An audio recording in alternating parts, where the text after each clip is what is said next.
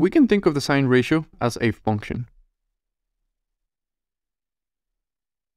What we plug into this function, it's an angle. And after the angle has been plugged in, we obtain a ratio on the sides of the right triangle.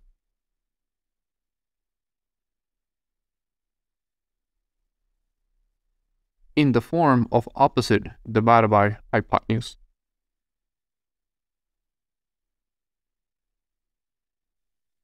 So let's visualize this idea. If we have an angle and we plug in this angle into the function of sine, which we're just going to write as sin, the outcome that we get out of it, it is a ratio of opposite over hypotenuse. Let's visualize this idea in the triangle on the left. Let's start by choosing a reference angle. Let's use C.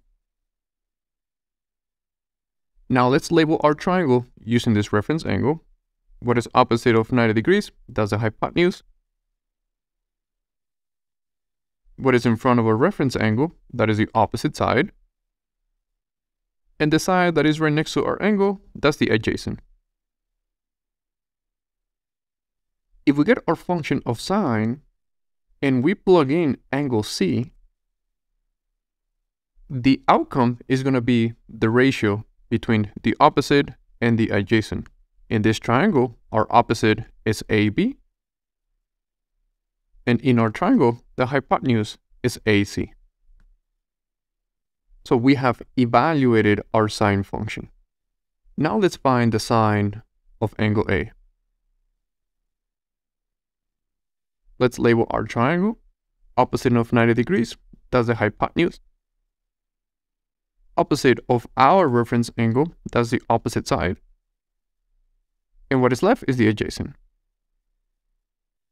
So if we look at our function of sine, and now we evaluate it using angle A, we're going to get the opposite divided by the hypotenuse. And in this case, our opposite is BC, and our hypotenuse is AC. Let's take a look at some examples. So given the triangles at the bottom, we want to evaluate the sine ratio.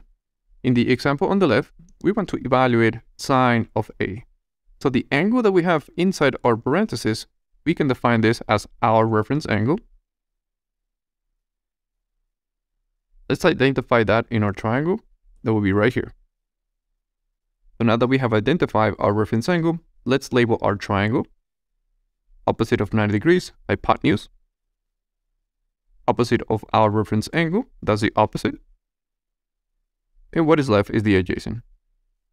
So now we have all the information that is needed because sine, if we evaluate it with angle A, that is going to be equal to the opposite, which in this case is 28,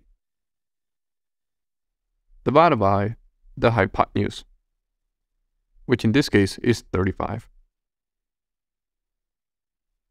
In the example on the right, there's a typo. Let's actually change this to sine of C. Now let's make our reference angle, angle C. Let's identify that in our triangle. That would be located right here. Now let's label our triangle. Opposite of 90 degrees, that's the hypotenuse opposite of our reference angle. That's the opposite side. And the side that is left is our adjacent. If we get our function of sine and we evaluate it with angle C, the outcome is opposite, which we know is 24, divided by the hypotenuse, which in this case is 40. Hello. If you would like to continue learning about mathematics, you can check out the videos on the left.